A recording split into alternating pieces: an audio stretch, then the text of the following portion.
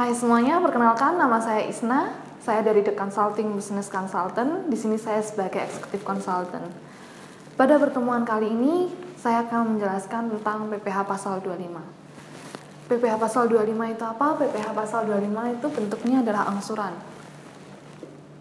Angsuran. Jadi pembayarannya, bentuk pembayarannya adalah tiap bulan, bulanan.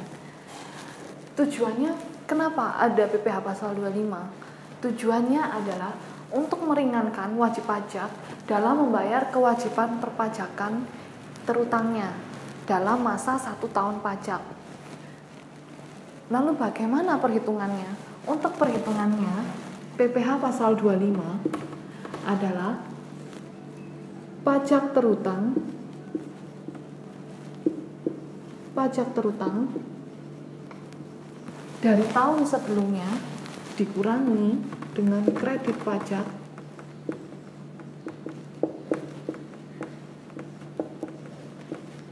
dari tahun sebelumnya dibagi dengan 12 bulan. Nah, bagaimana kalau misalnya perusahaan itu baru berdiri pada tahun misalnya pada tahun 2018 karena masih belum ada untuk uh, istilahnya panutan untuk pajak terutang dan kredit pajaknya pada tahun 2018 rekan-rekan sekalian bisa melampir bisa melamporkan itu dengan nihil karena masih belum ada dasar yang digunakan untuk perhitungan pajak terutang dan kredit pajaknya. Bagaimana penyampaiannya?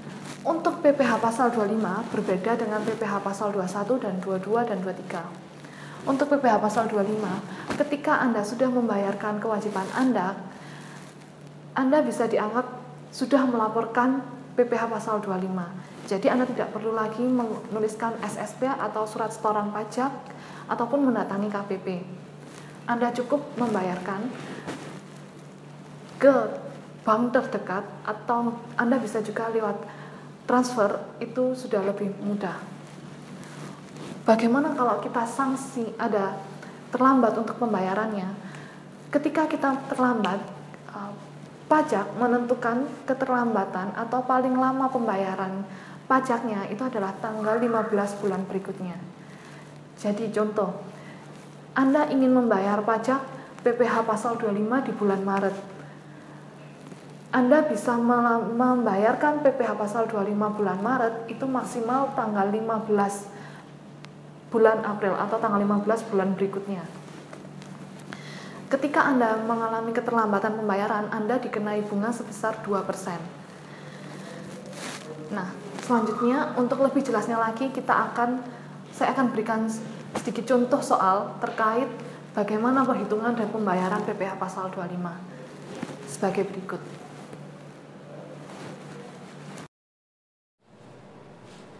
Oke, sekarang saya akan menjelaskan tentang contoh soal PPH pasal 25. Jadi, di sini contoh tahun 2017. Ini data terkait PT IJK pada tahun 2017. Dan PT IJK ini ingin mencari angsuran PPH pasal 25 di tahun 2018. Jadi, yang pertama PPH pasal 25 yang harus diangsur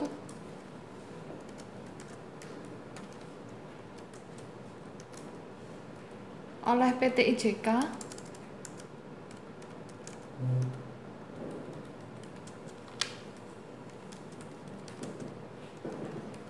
di tahun 2018.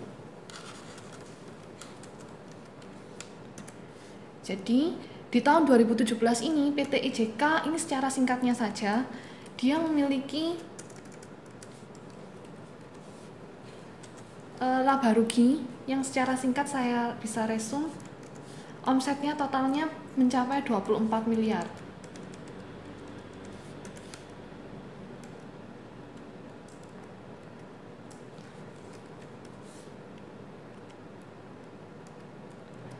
Lalu dia memiliki HPP sebesar 14,4 miliar. Lalu dia memiliki biaya operasional yang sudah dikoreksi fiskal. Jadi biaya yang dimasukkan di sini itu bukan biaya operasional seperti pada umumnya, tapi biaya operasional yang sudah dikoreksi fiskal.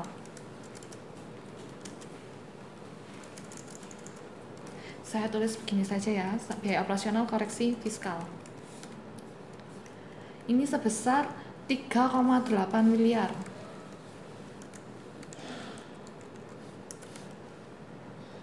Jadi di sini bisa dipahami kita bisa langsung dapat laba bersihnya yaitu dengan cara omset dikurangi dengan HPP dikurangi dengan biaya operasional setelah koreksi fiskal. Jadi laba bersih yang didapat itu 24 miliar dikurangi dengan HPP sebesar 14 miliar lalu dikurangi dengan biaya operasional koreksi setelah koreksi fiskal sebesar 3,8 miliar. Nah, ini laba bersihnya sebesar 6,2 miliar. Di tahun 2017 ini, PT IJK ini memiliki kredit pajak sebesar uh, yaitu PPh 21 sebesar 500 juta. Lalu PPh 23 sebesar 500 juta. Saya bikin 400 juta saja ya. Nah seperti yang sudah saya jelaskan sebelumnya untuk menghitung PPh 25 yang harus diangsur rumusnya adalah PPh terutang tahun sebelumnya dikurangi dengan kredit pajak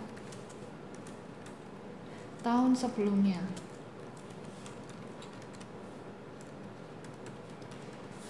Dan ini dibagi 12 bulan.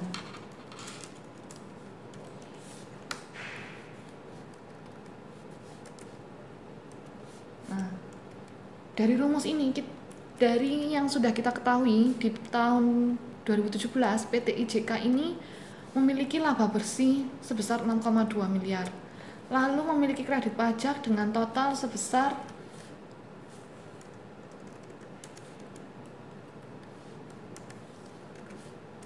...900 juta. Lalu bagaimana PPh terutang tahun sebelumnya atau PPh terutang pada tahun 2017? Untuk mencari PPh terutang sendiri memiliki perhitungan khusus. Jadi untuk mencari PPh terutang Nah, ini ada perhitungannya sendiri. Jadi um, karena omset PT IJK di tahun 2017 ini hanya sebesar 24 miliar atau kalau misalnya dikategorikan dengan pajak yaitu lebih besar dari 4,8 miliar dan lebih kecil dibandingkan 50 eh, dari 50 miliar maka PT IJK di tahun 2017 ini berhak mendapatkan PKP fasilitas. PKP fasilitas ini pengurangan fas, uh, pengurangan PKP yang diberikan oleh paj oleh pemerintah yaitu sebesar 50% dikali 25% atau kalau misalnya kita sederhanakan itu adalah sebesar 12,5% dari PKP fasilitas.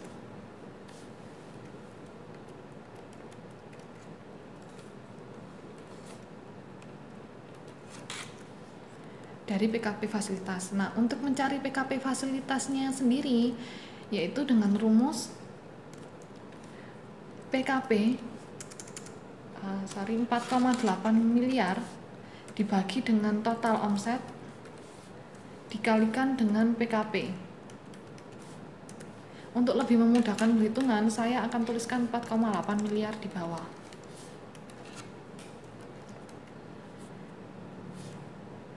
Jadi PKP fasilitasnya yaitu uh, untuk perhitungan PKP fasilitas yaitu sebesar 4,8 miliar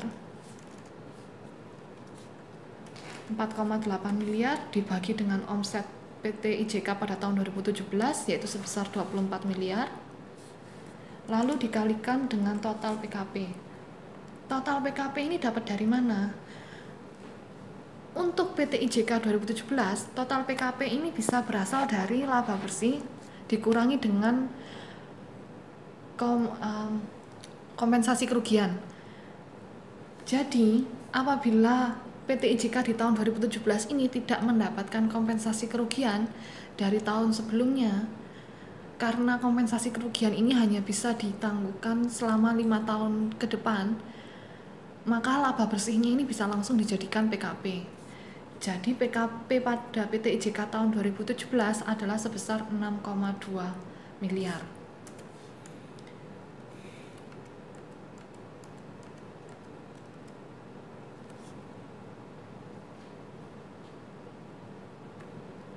Nah, ini laba bersihnya ini bisa langsung jadi PKP.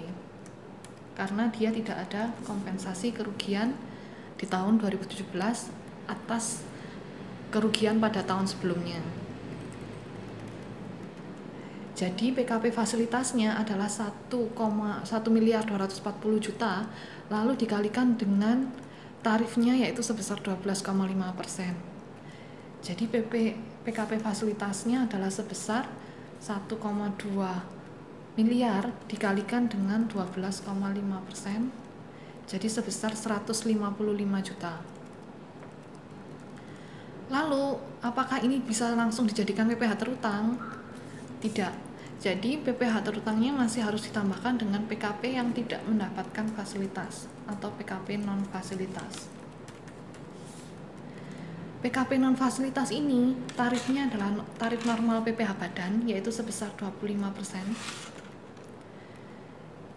Dengan rumus PKP dikurangi dengan PKP fasilitas. Jadi PKP total PKP-nya yaitu sebesar 6,2 miliar dikurangi dengan PKP fasilitasnya sebesar 1 miliar 240 juta. Ini nanti ditambahkan dikalikan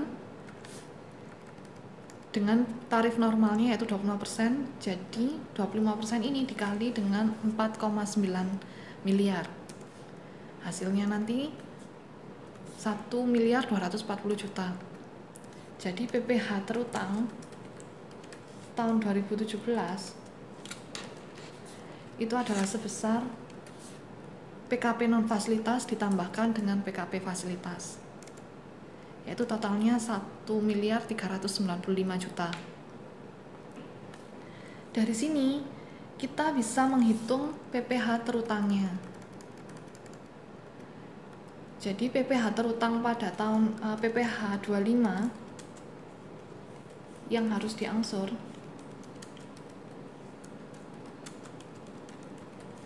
Di tahun 2018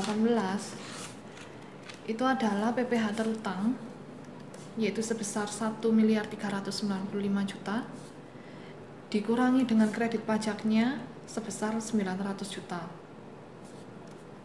Lalu dibagi dengan 12 bulan jadi tarif per bulan uh, PPH 25 yang harus diangsur per bulannya pada tahun 2018 untuk PT IJK ini adalah sebesar 41.250.000 per bulannya selama masa pajak tahun 2018. Lalu bagaimana apabila PT IJK ini pada tahun 2017 omsetnya di atas 50 miliar? Nah, untuk omset perusahaan di lebih dari 50 miliar maka tidak mendapatkan PKP fasilitas atau tidak mendapatkan fasilitas dari pemerintah. Jadi langsung dikalikan 25%. Contohnya, misal PT IJK ini tahun 2000 tahun 2017 dia mendapatkan omset sebesar 64 miliar. Nah, ini kan lebih dari 50 miliar. Lalu HPP-nya anggaplah dia HPP-nya itu sebesar 48 miliar. Biaya operasional setelah koreksi fiskal atau biaya setelah koreksi fiskal?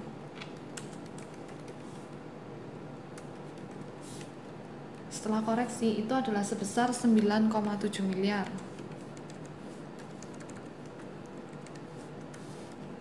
nah sedangkan dia ada kompensasi. Nah, misal ini laba bersih. Laba bersihnya jadi tinggal dikurangi dari omset dikurangi dengan HPP dikurangi dengan biaya setelah koreksi fiskal. Itu sebesar 6,3 miliar. Lalu ternyata dia ada koreksi fiskal. Uh, sorry dia ada kompensasi kerugian. Kompensasi kerugian ini pada tahun 2000 masih pada tahun 2015 berarti masih dua tahun. Itu sebesar 300 juta. Jadi PKP nya adalah laba bersih dikurangi dengan kompensasi kerugian sebesar 300 juta. Jadi PKP nya hanya sebesar 6 miliar. Lalu bagaimana penghitungan PPH terutangnya? Untuk PPH terutangnya yaitu per, uh, perlu dikalikan dengan tarif normal. Jadi langsung PKP dikalikan dengan tarif normal 25%. Jadi 6 miliar total PKP dikalikan dengan 25%. Ini ini adalah PPH terutangnya. Lalu bagaimana terkait perhitungan PPH 25 yang harus diangsur di tahun 2018? Untuk yang harus diangsur di tahun 2018 perhitungannya sama. Jadi PPH 25 yang harus diangsur di tahun 2018 itu adalah sebesar PPH terutangnya yaitu satu miliar 1,5 miliar lalu kredit pajaknya saya samakan dengan kredit pajak sebelumnya misalnya totalnya 900 juta jadi harus dikurangi dengan kredit pajaknya baru dibagi dengan 12 bulan. Jadi PT IJK untuk omset yang di atas 50 miliar dia harus membayar per bulannya di tahun 2018 mengangsur PPh 25-nya sebesar 50 juta per bulannya. Nah, ini terkait penghitungan PPh pasal 25. Untuk cara pembayarannya. Jadi walaupun perhitungannya misal walaupun omsetnya 4,8 ataupun uh, di atas 4,8 di bawah 50 miliar atau di atas 50 miliar untuk perhitungan PPH pasal 25-nya itu sama. PPH terutangnya ini untuk perhitungannya sama yaitu PPH terutang tahun sebelumnya dikurangi dengan kredit pajak tahun sebelumnya lalu dibagi dengan 12 bulan. Hanya saja yang membedakan adalah perhitungan PPH terutangnya. Berikut penjelasannya untuk contoh soalnya saya sudah berikan penjelasan dan juga contoh soal. Terima kasih telah stay tune di live streaming di, di Consulting Business Consultant. Salam hangat, terima kasih banyak.